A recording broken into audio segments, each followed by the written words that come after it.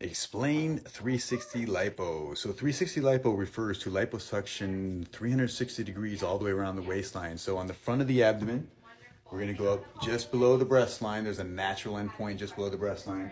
Down below, we're gonna go all the way down, cross over where that fold is that you might have, and we go into the pubic area. And so in the pubic area, you're gonna have these natural creases on the thighs. We go all the way there. And many of you have on this pubic area this crease that goes all the way up into the here. So we're gonna eliminate that whole part and make it as flat as possible. And you can see also on the front, what we're gonna do is we're gonna create the hourglass figure. So we're taking uh, all the fat on the sides here, and you'll have a fat pad into this area right here that when you take that out, it creates that nice elongated arch and the curve.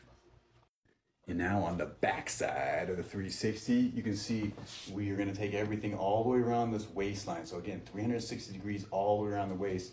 On the sides in particular, you can see how we take this out and it creates this nice hourglass figure.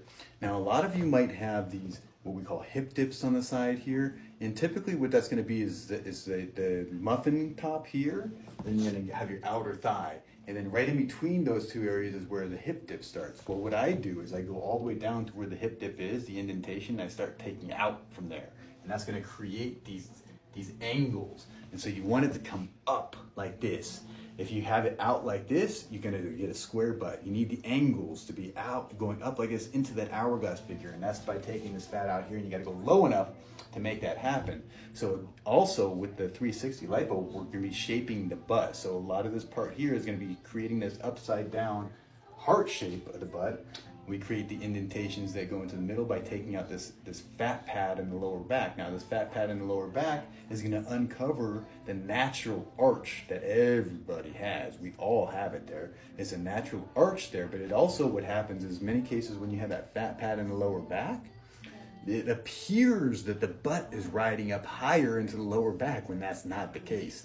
Uh, that's an illusion. So we're going to take that stuff away, lower the butt down to where it should be, effectively lowering the waistline. So those of you that are wearing these high-waisted pants to cover up and to, to get up higher, you're gonna not gonna, you're not going to need that anymore. Uh, I hope to eliminate the high-waisted pants. I hate that stuff. And so we want to create these nice elongated curves, lower the waistline, uh, and get you that, that waist that you're looking for, the hourglass figure, the arch to the back, the nice shape to the butt. This is all the magic that comes with 360 Lipo. And then if you want the pricing, simply jump on the profile, click on the link tree. Uh, the number one link is the quick quote. The number two link is the formal consultation.